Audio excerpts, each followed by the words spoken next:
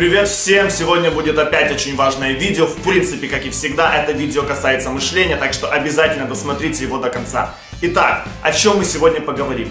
Никогда, блин, не судите о человеке по внешнему виду, по первому впечатлению. Никогда не судите о человеке, не зная человека. Я посмотрел комментарий под прошлым моим видео, где летал к маме на вертолете. Я, честно говоря, просто охренел. Я даже не ожидал, что у меня вот столько подписчиков, которые делают вывод просто по одному видео.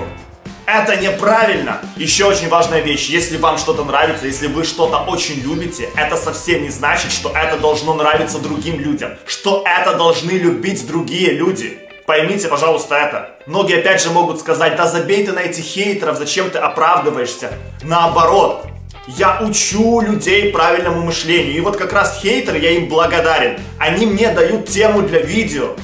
Как раз вот благодаря хейтерам я и выпускаю такие видосы, с которых можно брать огромную пользу. Ребята, вы должны понять, что основная концепция моего канала это правильное мышление, и я учу людей правильно мыслить, потому что если вы будете делать вывод о человеке, не зная человека, это неправильно. Вы не сможете стать миллионером, вы не сможете зарабатывать деньги. Вернее, деньги вы зарабатывать сможете, деньги заработать легко. Быстро заработать деньги это просто, но сохранить деньги тяжело быть по жизни с деньгами, исповедуя правильное мышление, вот это вот тяжело. И этому мышлению нужно всегда придерживаться. Мои хейтеры, кстати, делятся на два типа. Я, конечно же, понимаю, что чем больше у тебя популярности, тем больше будет у тебя хейтеров.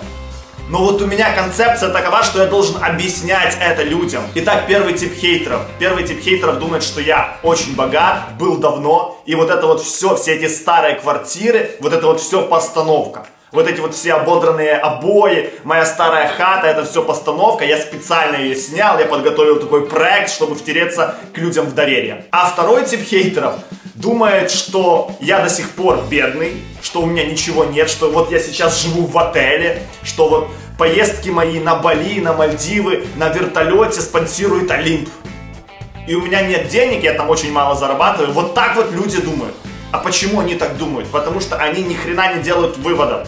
Они вот посмотрели мое первое видео и на основе своих убеждений все уже сделали вывод. Совершенно не зная человека. Хейтеры, если вы хотите разобраться, приходите ко мне на встречу. Почему ни один хейтер, блин, не пришел ко мне на встречу? В Москве, в Киеве. Все говорят, я приду, я о тебе узнаю. Так приходите, задавайте мне вопросы. Почему вы не приходите? И в конце все сбиваются. Я пишу, кстати, им, так что, вы будете на встрече? Да нет, у меня не получается, мы еще с тобой разберемся. Чем разбираться? Приходи, я тебе все расскажу. Я для всех, блин, открыт, ребята. Итак, возвращаемся к теме видео. Что писали люди в комментариях под прошлым видео, где летал к маме на вертолете? Сделай маме нормальный ремонт. Как так? Ты летаешь на вертолете, а у мамы дома нет нормального ремонта. Твоя мама, блин, живет в клоповнике. Как можно такое писать, не зная, что я давно купил маме квартиру с хорошим ремонтом? Вот вы это знали, не знали, а вы уже пишете. Хейтеры, кто из вас купил маме квартиру? Вот кто? Ответ, никто.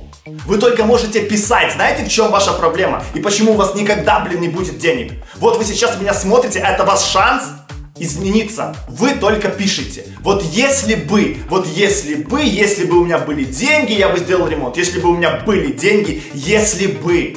Я не говорю если бы. Я делаю. Вот в чем отличие миллионера от обычного человека. Он много говорит, но он ни хрена не делает. Я человек слова, я человек поступков. Я беру, блин, и делаю. Не говорите, если бы. Берите, блин, и добивайтесь успеха. Берите жизнь в свои руки. Вы также будете, блин, жить в дерьме, если будете говорить «если бы». Вот ваш, блин, пинок под зад. Вставайте и делайте что-то. Еще хотел немного вот поговорить о своих родителях. Вот мои родители э, застряли в зоне комфорта. Им ничего не хочется. Когда я купил маме квартиру вот в Киеве, классную хату, она говорит, я не хочу туда переезжать. Мне нравится в своем маленьком городе. Вот так вот мыслят родители. Им там нравится. Они могут не ходить на работу. У них уже куча денег. Но им хочется ходить, потому что мама говорит, а что я буду делать? Мне нравится ходить в коллектив, работать, я уже так привыкла. Вот это привычка.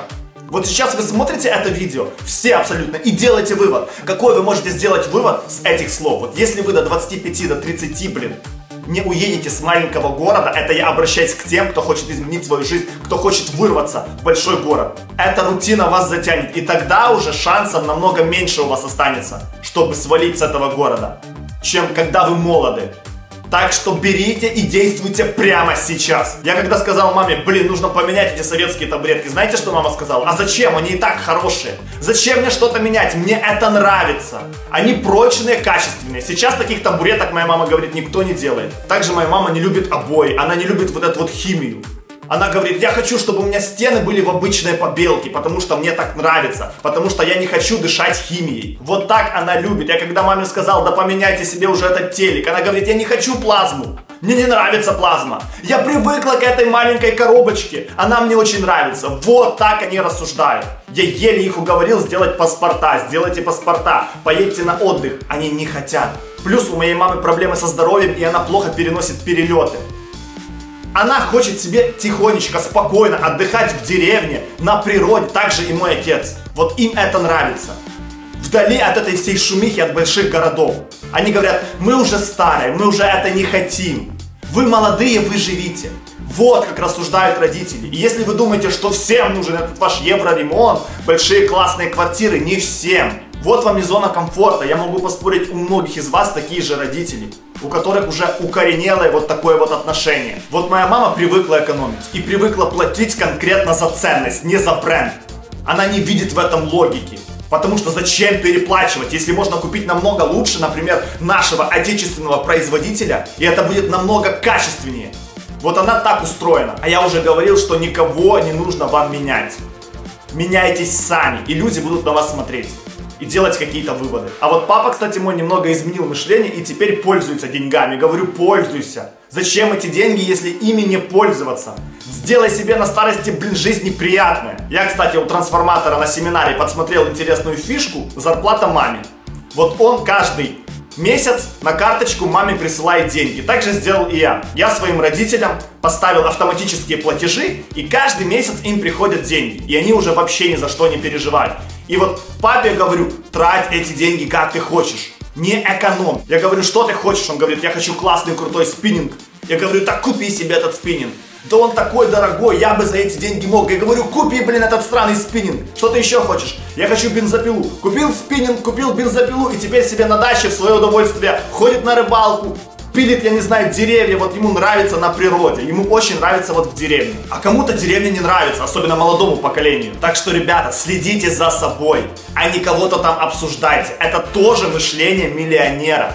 Не говорите «если бы». Если вы так хотите позаботиться о своих родителях, так сделайте. Докажите это на деле, а не на словах. Вот как нужно делать. Нужно действовать. Здесь и сейчас. Берите и действуйте. Поднимайте свою задницу с дивана и идите и действуйте. Идите и помогайте родителям, если вы этого хотите. А не тратьте время на комментарии. Вот вам и секрет успешных людей. Я вот был на конференции, кстати, на бизнес-концентрате 3.0. Сделаю вам крутое видео, там очень много полезной информации. Вот послушал миллионера, миллиардера Оскара Хартмана. И он говорит, действуйте сейчас. Время действовать прямо сейчас. Берите и делайте. Вам не нужны деньги, вам не нужны знания, вам не нужны связи. Это все вам не нужно. Это все придет, если вы будете делать. Если вы будете брать и делать. Вот моя черта. Я делаю, несмотря ни на что. Я не останавливаюсь. Потому что вы никогда не проиграете, если не остановитесь. Проигрывает не тот, кто падает, а тот, кто не может подняться. У кого опускаются руки, и он это все бросает. Вот тот проигрывает. А тот человек, который никогда ничего не бросает, который всегда идет до конца, он никогда не проиграет и становится успешным. Блин, это самый главный секрет. Постоянство усилий. Делайте, делайте, делайте, несмотря ни на что. Получается, не получается, да вам должно быть насрать. У вас есть цель. Вы должны брать и делать. Вот и все, а не писать в комментах хейтеры. Вот если вы это поймете, ваша жизнь кардинально изменится. Итак, буду заканчивать. Вышло солнышко, шикарно закончу на светлой ноте. Ребята, никогда не сдавайтесь. Всегда идите до конца. Желаю вам, чтобы у вас никогда не опускались руки. А если вам не хватает мотивации, я буду давать вам эту мотивацию. Так что, огромное всем спасибо за просмотр, за поддержку. Если вы со мной согласны, обязательно поставьте этому видео лайк, подпишитесь на мой канал. Всем удачи, пока!